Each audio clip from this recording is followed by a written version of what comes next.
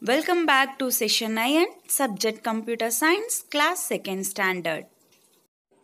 Cuties, before entering this session, I would like to ask you some question. The question is how to start the computer. Okay dears, you know the answer very well. Okay. The answer is switch on the main power supply button and switch on the UPS button and switch on the power button of CPU. Switch on the monitor button and finally welcome screen will come. Okay? Cuties, in this session we are going to learn about monitor. Are you ready for this session, Nayan? Okay, let us move to the topic. Cuties, a monitor is an electronic device that shows pictures for computer. And monitor often looks similar to television. Cuties, the main difference between a monitor and a television is that monitor does not have a television tuner to change channels. Okay? Monitor often have higher display resolution than a television. Students, you know already very well. A computer monitor is an output device that displays information in pictorial form. A term monitor is often used with a computer screen or display. Okay?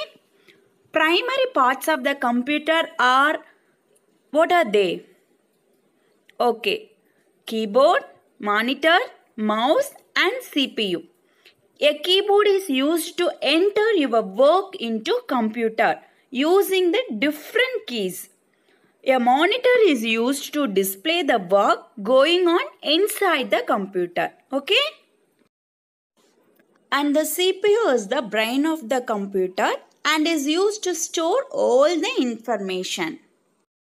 Cuties, the function of the monitor is to facilitate communication between the user and the computer. Okay? The mouse and the keyboard provide for user input. Monitor provider means of the computer communication with the user.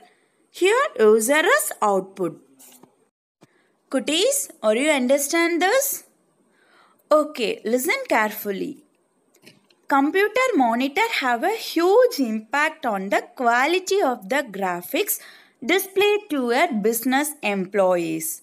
Regardless of if they are designing something, okay, or not with their comes they need for good computer monitors with displays that are true to color and graphics to ensure color and detailed specification are met. Computer monitor can increase productivity, reduce stress and time to create a better environment for increased production. Okay, cuties? Cuties, I repeat once again, listen carefully, okay? The most common output device is which one? Yes, it is nothing but the most common output device is a monitor, okay? And it looks a lot like a TV.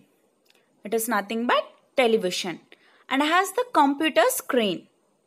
The monitor allows you to see what you and the computer are doing together.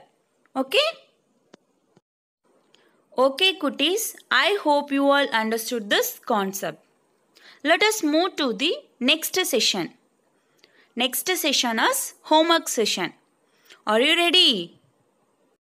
Okay, dears. Now I am going to share you the question. Yes, this is your question. Label the parts of the computer. Okay. Draw neatly and label the parts of the computer. Okay. Okay, dears. Submit your homework. See you on next session.